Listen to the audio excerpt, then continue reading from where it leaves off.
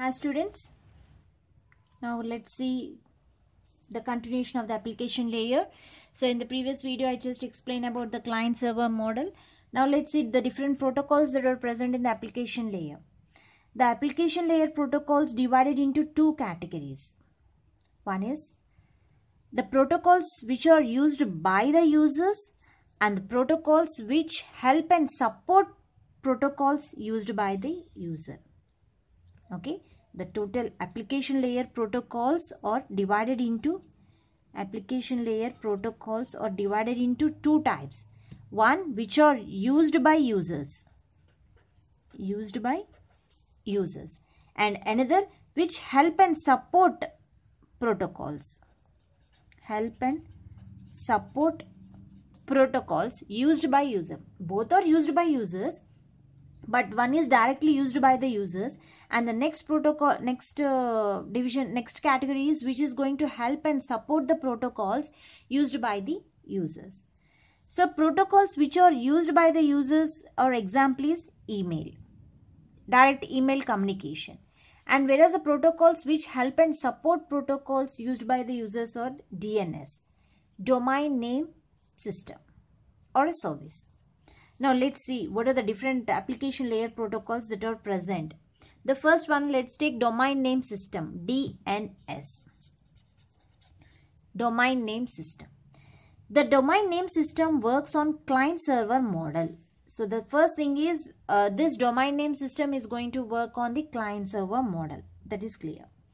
It is an internet service that translate domain names into IP address. So what exactly the domain name system? The domain name system is nothing but it is an internet service that going to translate domain names into IP address.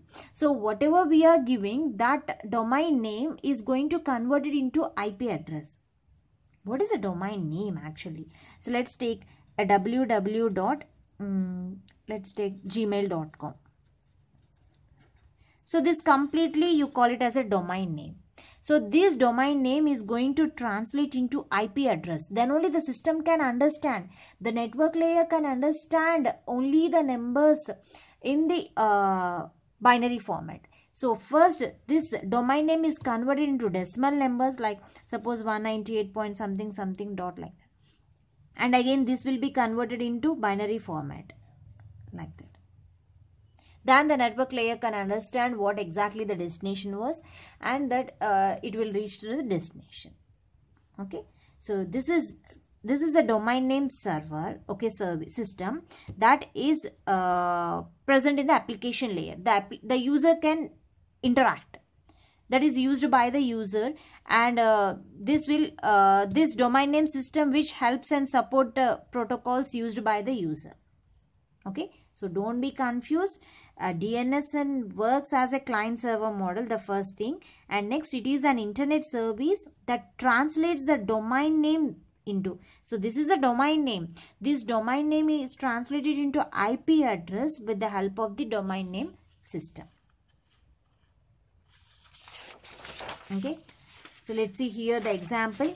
A domain name www.educationforyou.com okay? This is our site so this might be translated to 198.105.232.4 okay each octant it specifies the address where exactly that location was that. So with the help of the domain name system uh, uh, we can understand the domain name. So that domain name translates into ip address with the help of dns okay that is a protocol dns protocol and coming to the next protocol that is the smtp protocol SMTP, Simple Mail Transport Protocol. So what is the use of this Simple Mail Transport Protocol? So it is an in internet standard for email transmission. This protocol is used for the email transmission, generally used for the email transmissions. Simple Mail Transport Protocol connections are secured with SSL secure socket layer. So whatever the email transmissions you are doing uh, with the help of SMTP protocol, there the connections are secured by using secure socket layer. In SMTP, the messages are stored and then forwarded to the destination. The main use of the SMTP is here the messages are stored.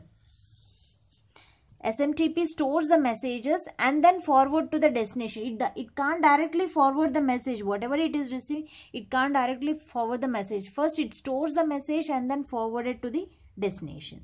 So, usually the SMT uses a port number of 25 of TCP protocol. So, the port number, it's a default. It's generally SMTP protocol uses the port number 25. Okay. So let's continue the remaining protocols, uh, application layer protocol in the next video. Thank you.